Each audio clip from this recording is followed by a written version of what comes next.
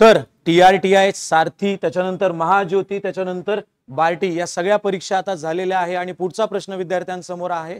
की या ठिकाणी सिलेक्ट सेंटर कसं सिलेक्ट करायचं? आणि त्याबद्दल मी तुम्हाला सगळी डिटेलमध्ये माहिती सांगणार आहे माझ्या विद्यार्थी मित्रांनो. त्यामुळे हा व्हिडिओ शेवटपर्यंत बघायचा आहे. नमस्कार मी तुमचा मित्र तुमचा मार्गदर्शक ऋतुराज शिंदे. आणि आता सेंटर कसं निवडायचं आहे आणि पुढच्या प्रक्रियेला कसं सामोरे जायचं हे मी तुम्हाला पुढच्या दोन मिनिटांमध्ये सांगणार आहे. त्यामध्ये ज्या ज्या विद्यार्थ्यांनी ही परीक्षा दिली असेल त्यांच्यासाठी एक महत्वाची सूचना या ठिकाणी आलेली आहे. ती म्हणजे सगळ्यात पहिल्यांदा तर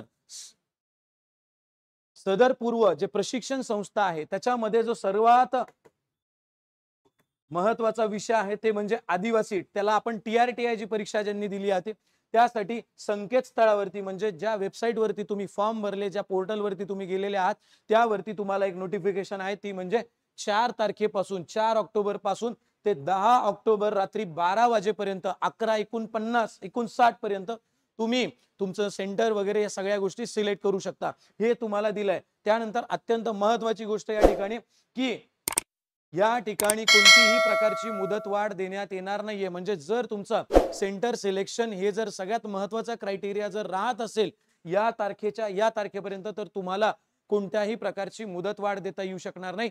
तुमचं नुकसान होऊन जाईल. त्याच्यामुळे विद्यार्थी मित्रांनी लवकरात लवकर त्यांच्या वेबसाईटवर जिथं तुम्ही तो फॉर्म भरलाय.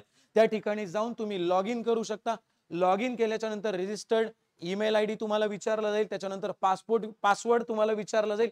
हे विचारल्या गेल्यानंतर तुम्ही ज्या वेळेला त्या पोर्टलवर जाल तर सगळ्यात पहिल्यांदा तुम्ही ट्रेनिंग इन्स्टिट्यूट सिलेक्ट करू शकता. त्याची नावं त्याच्यामध्ये दिली आहे मग जिल्हानिहाय त्याच्यामध्ये नावं आहेत. या जिल्हानिहाय तुम्ही जर त्या नावांमध्ये गेले तर तुम्हाला हवं ज्या सेंटरला ती योजना लागू झाली आहे ऍफिलेट झाली आहे त्याच्यावरती तुम्ही जाऊन सेंटर सिलेक्ट करू शकता. त्याच्यानंतर तुम्ही जो रजिस्टर्ड मोबाईल नंबर दिलेला आहे त्या रजिस्टर्ड मोबाईल नंबर टाकल्याच्या नंतर तुमच्या मोबाईलवरती ओ टी पी येणार आहे.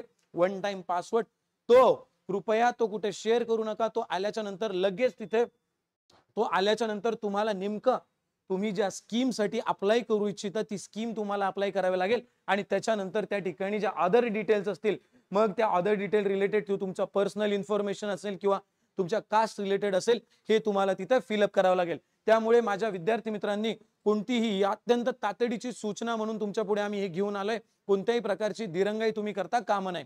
धन्यवाद.